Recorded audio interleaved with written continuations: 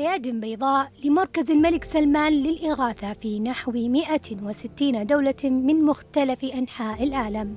بينها دول آسيا الوسطى التي حظيت بعشرات المشاريع التنموية والمعيشية شميلة التعليم والصحة والأمن الغذائي والإصحاح البيئي وغيرها من المجالات.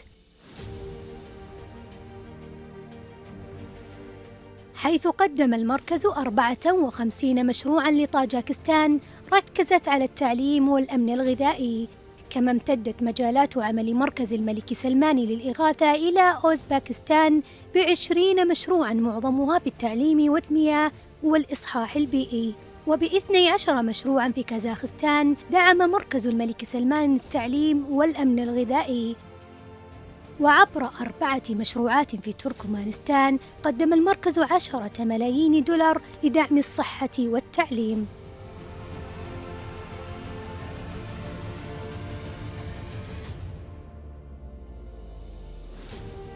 وخلال جائحة كورونا وما قدمته المملكة للعالم لدعم الصحة العامة ومواجهة الجائحة بتوجيهات من خادم الحرمين الشريفين قدم مركز الملك سلمان للإغاثة والأعمال الإنسانية شحنة من مستلزمات الحماية الطبية بمبلغ 500 ألف دولار للجمهورية القرقيزية كما وقع الصندوق السعودي للتنمية اتفاقيتين لتمويل مشاريع في قرغيزستان بقروض إمائية ميسرة بقيمة 130 مليون دولار لتشييد منازل للسكان وتيسير معيشتهم والإسهام في تمويل مشروع طريق تراس تالاس لتخفيف الحوادث المرورية وتحسين الطرق في البلاد.